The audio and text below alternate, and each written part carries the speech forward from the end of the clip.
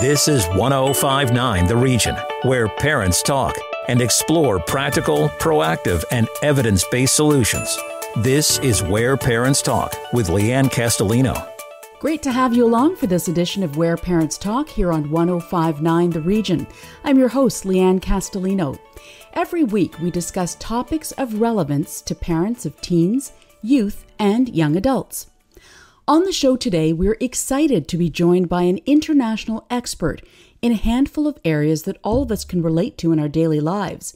In fact, we'll be making time by dedicating the entire half hour to the topic of time, specifically time management, productivity, and organization.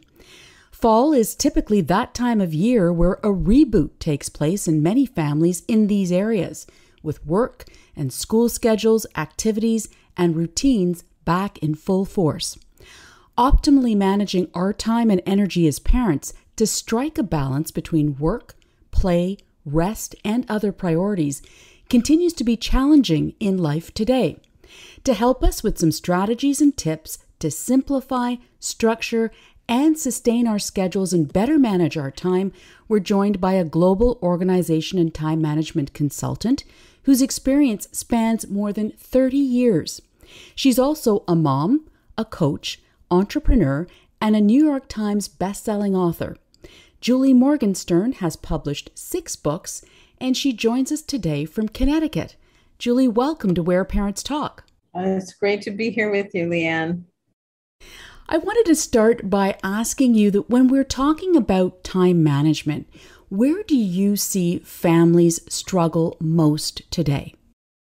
I think today where families really struggle is not actually talking about time. and thinking it just kind of comes naturally to everybody and that there's whatever their approach is is the way everybody should think um, but you know every family is a group of individuals who have a complete often have completely different relationships to time to tasks to work and play. And if you don't actually try to create some kind of alignment and communication around it, you end up with great chaos. And I, you know, I think of one example of a family that I was coaching, and it was a the mom had two kids, a teenage boy and a 10-year-old girl. And the mom felt kind of burdened with like the the as so many moms do. Like she was the arranger. She was the, she had to think of everything that had to be done around the house and delegate tasks and then harangue people to do it. And she hated that job of being the, the pesterer. And her son, who was a teenager, uh, was he was his, his job was vacuuming and he was happy to vacuum but the mom was always frustrated like when you know he wasn't getting it done when she she was like why is it not done? Why is it not done? He's like what do you mean why is it not done? And he we had a, a meeting and we talked about it. And the arrangement was the agreement was it would be done on saturday. He would vacuum every saturday. But they never talked about by what time. Mm. so the boy had just thought as long as it's done by like dinner on on dinner time i've done it on saturday. The mom in her mind was like Saturday morning, like mm-hmm. I want the vacuuming done, but they never talked about it. So that was just miscommunication. I think that's the mistake that parents and families have around time management is not having these kinds of conversations to make the invisible assumptions and styles and expectations visible and then straightening it out. That is such an interesting point with that story that you just shared. And I can absolutely 200% relate to that because, you know, the sense of urgency that a parent feels around when things needs to get done is not necessarily that of their child, uh, and especially teenagers in many respects. So, how should we be discussing time then to that point in our families? To get in the habit of talking about not just what needs to happen, but also when. Just add the when to the conversation. And by the way, we should do this for ourselves as well, right? How often do you make a to do list that is like, what do I need to do? I need to do X, Y, Z, A, B, C, E, F, G. But if we don't ask of ourselves, and when am I going to do it? It just stays on our to-do list. So make one of one of the habits of the household is that whenever there's any asking of favors or assigning of tasks or requests, when we ask things of each other, don't just ask for the what, also talk about the when. That's like really simple. It's really, really concrete. And if that becomes part of the way you speak to each other, you'll always align on expectations or have a chance to reveal that, wow, we, I'm happy to do it, but I can't do it at the time that you want. Um, can we negotiate that? Yes, and then it becomes a very explicit conversation, right? Everybody's on the same page. Uh, when it comes to, to teens, young adults, and you know, going off to college and university, um, in particular, time management takes on a whole different realm. Um, what can parents do to support that, you know, change for these for these young adults as they move on? So you have to kind of recognize whether you are sending an organized kid off to college or a disorganized kid off to college.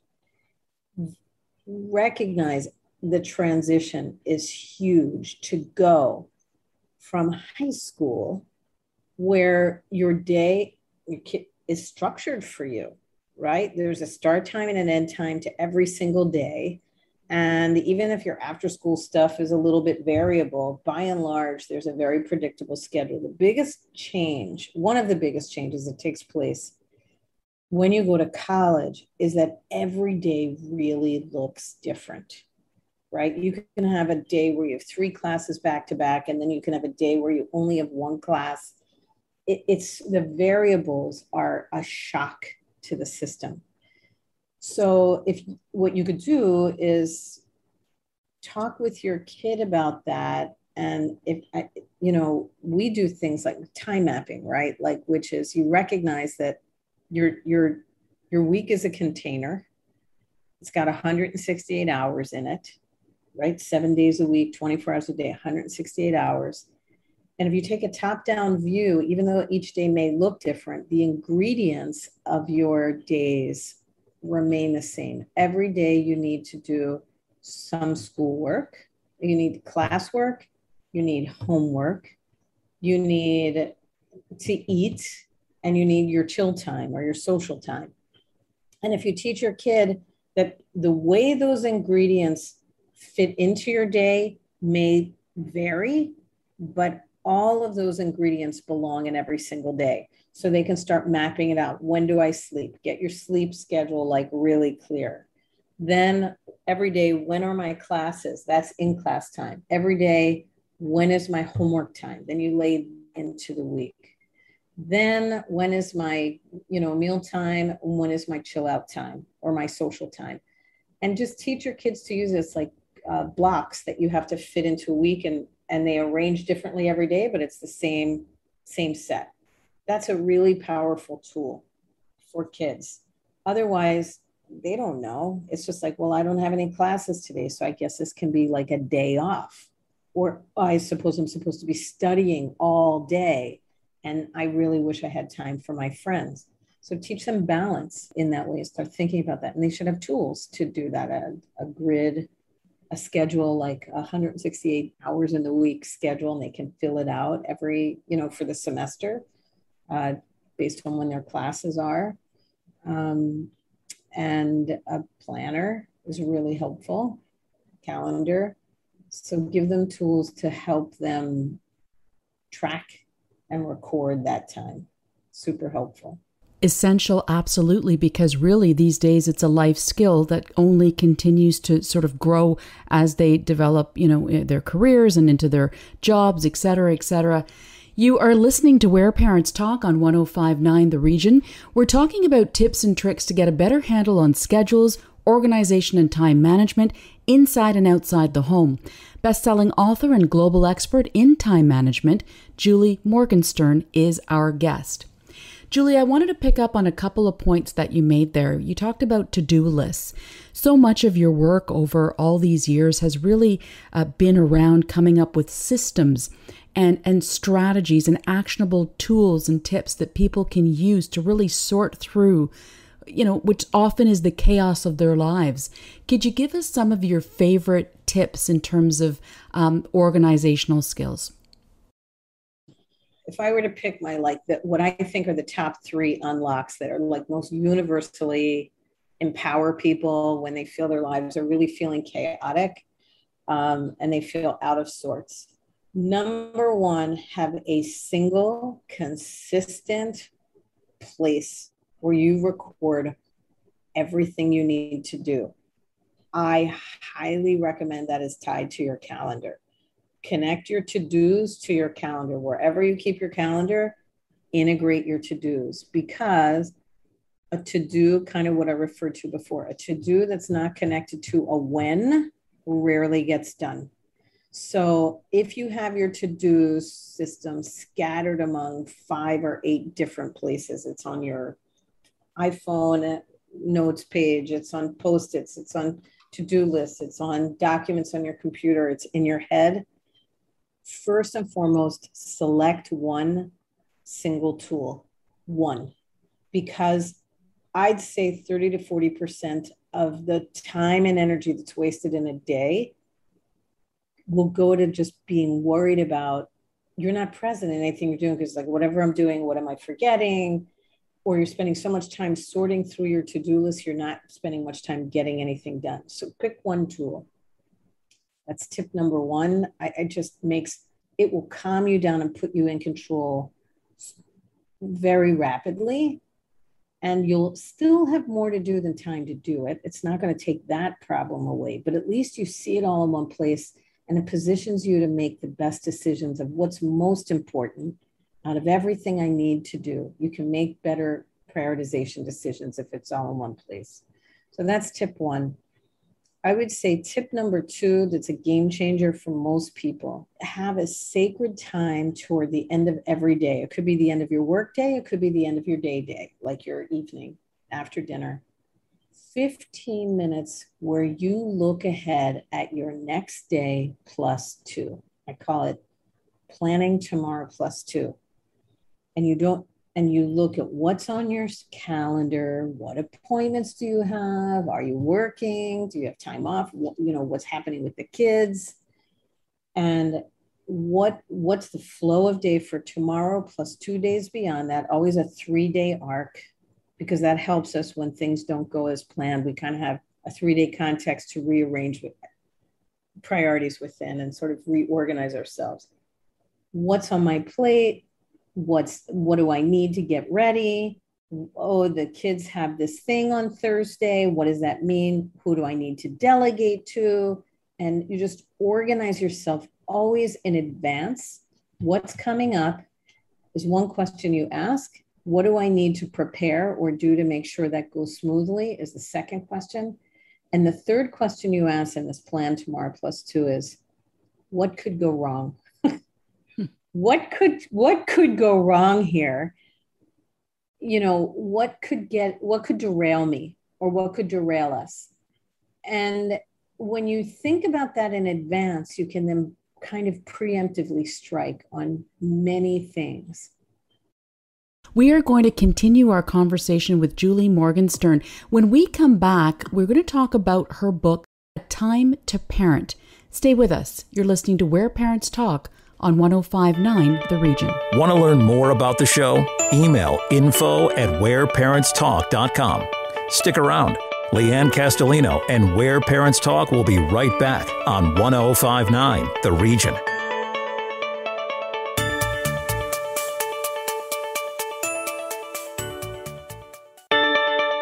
Welcome back to Where Parents Talk. Listen live at 1059theregion.com. Here's Lianne Castelino. Welcome back. Our giveaway this week comes courtesy of Julie Morgenstern. It's a copy of her book, Time to Parent. We'll be talking about some of those strategies, including the book. And to win a copy of Julie's book, simply go to whereparentstalk.com, click on the giveaways page, and follow the prompts. You can also connect with us about the giveaway on any of our social media platforms Twitter, Instagram, Facebook, or LinkedIn. Julie, before the break, we were talking about your top time management tips and specifically trying to predict and prepare for pitfalls that may arise. The truth is, we can anticipate probably 80% of the surprises in our days, in our families. Our kid is forgetful, so they always leave the house without their backpack, or they always, you know, we know our we know ourselves and we know our folks. You can predict them if you actually stop to think about it. But if we don't take the time to think about it, then we're always caught by surprise. Third tip on, t- on time management make it a habit to ask not just what I need to do, but how long is that going to take? And uh, when, when am I going to do it? And if, if you realize when you start estimating how long things will take and you get really accurate in those estimates, you'll become a better delegator. I think that that, and you'll also learn to say no. And I think those are two things that parents really need is perspective on not overloading overloading their plates because they think they can do it all or they think they should do it all and like parents just want to do great and there's so much flying at them. You don't even know how much is flying at you because you're dealing with a family Kids have surprises they bring every day. You have surprises every day. If you have a spouse, they're bringing surprises. The more you contain that chaos by like being really realistic with how long things take and then just try to like get everything as auto all the predictable stuff as automated and simple as possible. It leaves room for the surprises. Julie, let's dig into your sixth book for a little bit, Time to Parent. It was born uh, in large part out of your own experience as a mom. Tell us why you wanted to write this book. When my daughter was born, I was like, where's the time management manuals being ha- pamphlets being handed out in the maternity ward? Like how am i supposed to do this? Mm-hmm. how am i now supposed to like divide my time? It wasn't like i wasn't really busy before i had a child. It wasn't like i was twiddling my thumbs. I was like where's the time management manual? And I really craved it as a parent. I wanted to know, like, how am I supposed to allocate my time between work, self, this child, with this child? How much time am I supposed to spend just sort of playing versus like teaching her versus whatever? I and I always craved it, right? Then I, I had become a time management uh, and organizing consultant, coach, and practitioner when my daughter was three. I got divorced and I could no longer afford to be in the theater either for the theater money or the theater hours. So I started this business on organizing business. And I found over the years two things to be true. One, 80% of my clients were parents. Not that I was targeting them, but it's like the parenting years are the most time stretched years of a human's life. Every parent, and globally, because I traveled around the world, I mean, every country, every culture, men and women, all were asking the same question, which is, how am I supposed to divide my time here? How much do I work? How, you know, and they just felt guilty because they didn't know the answer. And I thought, why is there no manual for parents on time management, on how you're supposed to allocate your time? When my daughter graduated uh, high school and you know went off to college i finally had the space and the time myself to like study this topic and, and try to find find the answer and create the manual. And that's why i did it there must have just been aha moments all over the place for you. Let's dig into some of the top tips and strategies that you share in that book. What are some of the, the more memorable ones in terms of the systems uh, and tips that you share? So, I wanted to define the juggling act. What really is it that we're juggling our time between? And to distill it down like a job description into like some buckets so the first thing is after a lot of thought, research, I was and and synthesis, I I was like, look, this job is not juggling a million things. It's actually juggling eight things that cover everything you need to do for the full span of the parenting years. So here's a way to think about the job. First, you break the job into two parts raising a human and being a human. And then each of those two have four components. So, to raise a happy, healthy human, we have to balance our time as parents between four core activities. They spell the acronym PART, as in doing your part for another person. So, P, we have to provide for our kids, which involves working and making and managing money. A is we have to arrange the logistics of our kids' lives. We have to do all the cooking, cleaning, planning, shopping, school decisions, all that stuff, transportation. That takes time. R is we have to relate to our kids. We have to spend one on one time with them, getting to know them for the unique individuals they are. It's what a lot of people call quality time, but it's really relating understand this unique individual before us and love them and support them and understand them. And then T is for teach. We have to teach our kids life skills and values so that they can succeed in the world. P A R T, doing your part, provide, arrange, relate, teach. As adults, we're responsible for our children's well being, but we are also responsible for our own well being. Too often, parents put all their energy into the raising and they completely abandon themselves. So, to be a happy, healthy human, we also have to juggle our time between four activities. Think of the word as self, sleep, right? Self. We have to sleep. We have to get our rest. It is essential. You have to become a sleep ninja as a parent, not a sleep sacrificer, a sleep ninja. Number one thing to fit, figure out how to be good at, because it's the only way you're going to be able to think clearly and have the energy to do your part on the other side. It's so demanding. E is for exercise. We have to move, whether formally or otherwise, so we feel fit and we have energy and we have confidence to like get out there and like run around with our kids. Even if our kids are teenagers, we still have to run around with them and really have the energy to be present and feel confident in ourselves. We have to spend time on love. That's the L, our adult love relationships, our friendships, so that we feel nurtured because how do you nurture anybody if you're not also getting nurtured? And then F is for fun. And that is, listen, we can have fun on anything that we do, honestly. We get fun at work, we get fun relating to our kids, we get fun on all of it.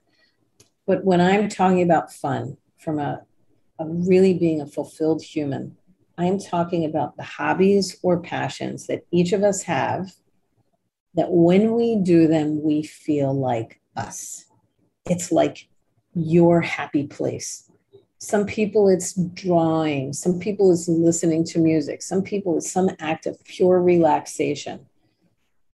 And parents usually think they get back to that after their kids go off to college. If you can build in small doses of that thing that just makes you feel like you into every day and or every week, it grounds you in the most powerful and effective way that gives you all of like the strength and perspective. That is a great way to compartmentalize and it's it's something that's easy to remember but it's also prioritizing those priorities right? Because i think that's where a lot of us regardless of age and specifically parents get really tangled up and that's where it turns into chaos a lot of the times is not being able to understand prioritizing the priorities Yes, and and by by naming them, right, it makes it a lot easier for you as a parent to quickly inventory on any given day, on any given week, at any given moment. How am I doing on these eight things? What is taking up most of the time? What is getting neglected? And then you can course correct. I think what when you don't have the definition it just feels that whatever you're doing, you vaguely think you should be doing something else. but by knowing the game board, it's these eight things. And the key is you don't have to spend equal amounts of time on each thing. Some like sleep should be seven to nine hours a night. You don't need to spend seven to nine hours exercising, right? You don't need to spend seven to nine hours teaching. Work could take, you know, nine, nine hours a day. So it's not equal amounts of time. Every one of these need to be touched. And if they are not done as part of your regular time diet, basically, you will feel off balance. when you are making sure that all eight quadrants are getting some love, some attention, some time, you feel whole. When anything is getting neglected, you feel off balance. So it's a it's a rudder, it's like a control panel so you can just keep monitoring yourself and then course correct as you go and feel not bad about the self time. I think parents feel so guilty about self care. When you realize it is, I mean, it's how you're able to do your part, it's how you role model for your kids what it means to be a happy, fulfilled adult. Then you don't feel guilty, you feel it's your duty to take care of yourself. You feel it can be your joy, you can enjoy it. Anyone who's read the book or been to a talk, they're usually like, oh my God, A, I can do this because it's not a million things, it's eight. And B, I needed this permission to take care of myself. I need the permission. And this framework gives you permission. There's so much food for thought in everything that you've shared with us today, Julie. I'm afraid we're out of time on just a, a, massive topic that we could continue to talk about. Um, and we'll have much more with Julie Morgenstern, including a video interview on whereparentstalk.com. So please be sure to check that out. Julie Morgenstern, international expert in time management, organization, and productivity, thank you so much for your keen perspective and insight today. Thanks, Lianne, for your great questions, inviting me back, and always happy to come and talk to you. Remember as well, this week's giveaway is a copy of Julie's book, Time to Parent. Go to the giveaways page on whereparentstalk.com to learn more. If you missed any part of today's show, you can always listen to the podcast on 1059theregion.com or whereparentstalk.com. Also, we love hearing from you, so tell us what you think about today's topic or anything we discuss on the show through our social media channels. That's Where Parents Talk for this week. I'm Lianne Castelino. Thanks for joining us. Happy parenting. Sign up for Lianne's parenting newsletter and so much more at whereparentstalk.com. This is Where Parents Talk on 1059 The Region.